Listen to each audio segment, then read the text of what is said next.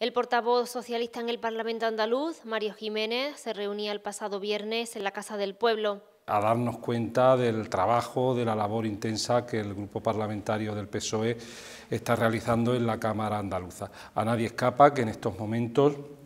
cuando Andalucía es la única comunidad eh, autónoma de nuestro país que tiene ya asegurado un presupuesto para 2018 y que hace una apuesta eh, nítida e incuestionable por las políticas eh, sociales, es importante que, todo esto llegue al conjunto de las comarcas y de los territorios de Andalucía y que podamos tener aquí de primera mano pues, una información precisa, por ejemplo, de la apuesta que se hace por la sanidad, por la educación, por la dependencia, por lo que son las banderas del Partido Socialista allí donde gobierna y especialmente en Andalucía, donde a pesar del maltrato del gobierno del Partido Popular y de la insuficiente financiación el gobierno de Susana Díaz está haciendo un esfuerzo realmente importante por mantener lo que son los pilares del estado del bienestar en nuestra comunidad eh, autónoma. Lógicamente vamos a hablar también de proyectos que son importantes para nuestra comarca,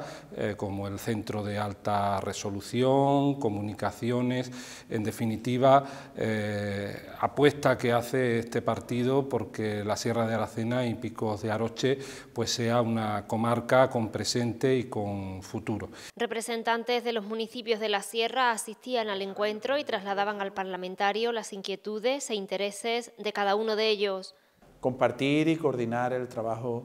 que se está haciendo desde el partido en un momento en el que ya eh, va culminando esta legislatura municipal y en la que empezamos a enfocar también ya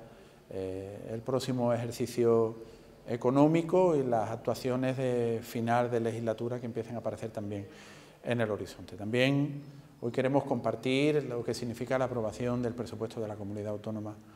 eh, de Andalucía, que como ha dicho el alcalde, somos la única comunidad autónoma de toda España que tiene ya hecho el debate de totalidad de los presupuestos y que en los próximos días, próximo, la próxima semana, culminaremos la tramitación de esas cuentas públicas más de 35.000 millones de euros puestos al servicio de la recuperación económica y del blindaje del estado del bienestar en Andalucía para garantizar que las políticas de empleo y de apoyo a la actividad económica en todo el territorio y para garantizar también que la educación pública, la sanidad pública, la ley de la dependencia, los servicios sociales eh, tienen los recursos suficientes para hacer posible la igualdad de oportunidades de todos los ciudadanos, independientemente de dónde vivan en Andalucía, si viven en eh, la calle Sierpe en Sevilla o si viven en cualquier municipio, por pequeño que sea de nuestra comunidad autónoma o en una comarca rural como es la comarca en la que,